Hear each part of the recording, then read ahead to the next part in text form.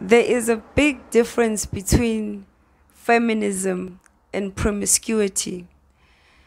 The women we see in our music videos who are constantly naked, who are using profanities and trying to sound manly, those women are not the feminists that the women need. Condoleezza Rice, Hillary Clinton are what I will call feminists.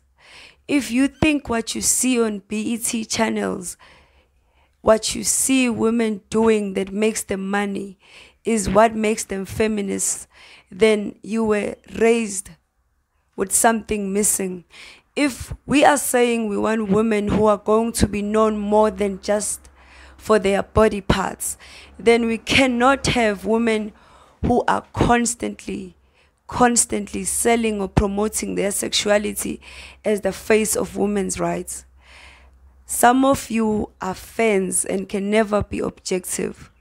But when you put these women at the forefront of fighting for women, then you are defeating the whole objective.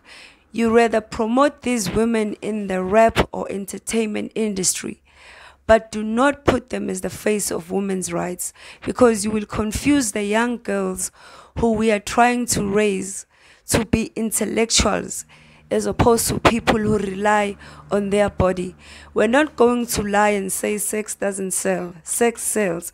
But if in 2021, the women who are winning the Grammys and the BETs for their profanities and promiscuity and almost pornographic imagery, if those are the women that we put as the face of women's rights, then we are defeating, defeating the whole purpose and we're undermining the women who have come before us.